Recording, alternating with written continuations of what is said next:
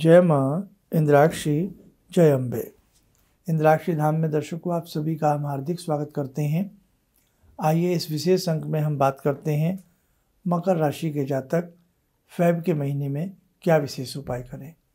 हर महीने यदि हम अपनी राशि से संबंधित उपाय करते हैं तो कहीं ना कहीं हमारे जीवन में शुभता आती है और हमें अच्छे लाभ की प्राप्ति होती है। इस अंक में जो हम आपको उपाय बता रहे हैं, वो उपाय किस किस को करना है? जिन जातकों की जन्म से मकर राशि है कैप्रिकॉन मकर लगन है यह पुकारते नाम से आपकी राशि मकर बनती है। जब जब ग्रहों का परिवर्तन होता है तो जीवन में शुभ या अशुभ घटनाएँ घटती हैं।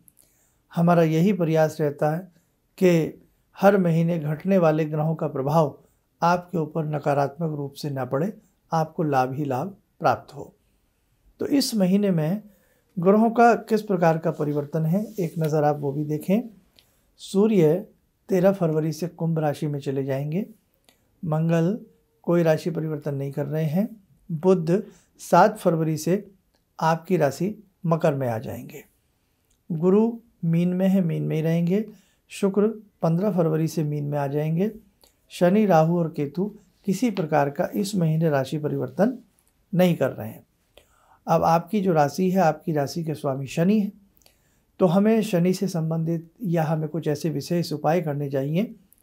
आज का एक मैं अति विशेष उपाय आपको आपकी राशि के लिए बताऊँगा, उसे आप नोट ज़रूर कीजिएगा। ठीक है? तो आइए अब हम बात करते हैं मकर राशि के बारे में।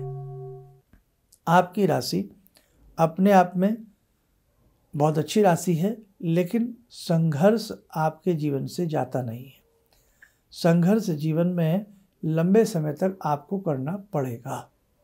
लेकिन जीवन में दैवीय उपायों से यदि आप जुड़ जाएँ तो आपको उसका धीरे धीरे धीरे धीरे विशेष प्रभाव दिखेगा और आपको लाभ मिलने लगेगा। आपके जीवन में या आप कैसे व्यक्ति हैं, कुछ अच्छाइयाँ भी हैं और कुछ कमियाँ भी हैं, वो किसी अलग अंक में हम बात करेंगे। इस अंक में तो केवल हम आपको उपाय वाली बात करेंगे ताकि आपके जीवन में आपको सफलता प्राप्त हो सके। कुछ तारीखें ऐसी होती हैं हर महीने की जो कई बार नेस्ट फल प्रदान करने वाली होती हैं, अशुभ होती हैं। उन तारीखों में हमें थोड़ा सावधान रहना चाहिए। आइए मकर राशि के जातक उन तारीखों को नोट करें।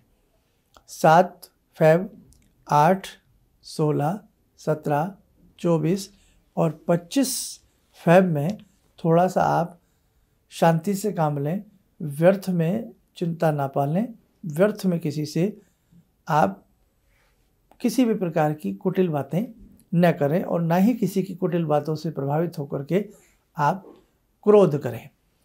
ये महीना सेहत में सुधार लाएगा, धन लाभ की प्राप्ति कराएगा, स्त्री पक्ष से आपको विशेष प्रकार से लाभ मिलेगा, लेकिन गठिया, संधिवात और पेट से संबंध रोग आपको परेशान इस महीने में कर सकते हैं।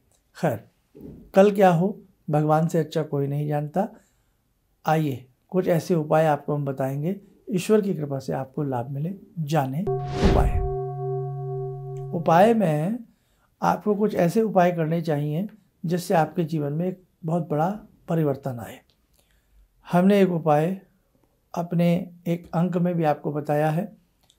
आपको एक विशेष उपाय करना है, किसी भी पीपल के नीचे जा कर के तीन शनिवार सरसों के तेल में दिया जलाना है, सात बत्तियाँ लगा करके, लंबे वाली बट करके उसमें डालनी है और पश्चिम दिशा की तरफ़ उस दिए का मुख करना है। एक एक लौंग, सात लौंग उसमें डालनी है। ओम शम शनिश्चराय नमा, ओम शम शनिश्चराय नमा बोल करके। ऐसा आप फैब के महीने में कम से कम तीन शनिवार करेंगे आपको बढ़िया लाभ मिलेगा। पद्म पुराण में पेज नंबर 636 जो पुराने पद्म पुराण है, उसमें से आप जो शनि स्तोत्र है दशतकृत जो स्तोत्र है, हर शनिवार उसका पाठ करें, आपको विशेष लाभ मिलेगा। काले रंग का बाहुल्य शनिवार के दिन बनाएँ कोई ना कोई काले रंग का हल्का फुल्का वस्त्र शनिवार के दिन पहने। उड़द की दाल शनिवार के दिन भोजन में प्रयोग में लाएँ, आपको लाभ मिलेगा। काग पक्षी कौआ पक्षी, उसको सेवा करें, उसे रोटी दें, मीठी पूड़ी, परोठा कुछ भी खिलाएँ, गाठिया खिलाएँ, उससे भी आपको लाभ मिलेगा। शनिवार के दिन संध्या के समय हनुमान जी की सेवा करने से भी आपकी राशि को बल प्राप्त होगा। आपको इन उपायों में से जो भी उपाय सहज लगें, दो चार उपाय करने का प्रयास ज़रूर करें। नौमुखी रुद्राक्ष है या चौदह मुखी, एक सौ चौदह मुखी रुद्राक्ष पहनना आपके लिए श्रेयकर रहता है। देवी यंत्र की साधना करना आपके लिए श्रेयकर रहेगा। हमने मेष राशि से मीन राशि तक के उपाय बताए हैं। हो सकता है आपके घर में या किसी की कोई और राशि हो तो वो भी अपनी राशि के उपाय सुन करके करे, उसे अवश्य लाभ की प्राप्ति होगी। आप स्वस्थ रहें, सुखी रहें, इन्हीं शुभकामनाओं के साथ हम अपनी वाणी को विराम देते हैं। जय जय अम्बे किसी भी समस्या के समाधान के लिए मिले प्रसिद्ध हस्तरेखा एवं वास्तु विशेषज्ञ प्रोफेसर धर्मेंद्र शर्मा जी से नोट। शिविर में भाग लेने हेतु एवं व्यक्तिगत रूप से मिलने के लिए कॉल करने का समय सुबह 10 बजे से शाम 6 बजे तक। हमारे विभिन्न ज्ञान वर्धक कार्यक्रम देखने के लिए आप हमें अभी सब्सक्राइब करें। बेल आइकन को प्रेस करें ताकि आप देख सकें हमारा कार्यक्रम सबसे पहले। और अधिक जानकारी के लिए फेसबुक पेज को लाइक करना न भूलें।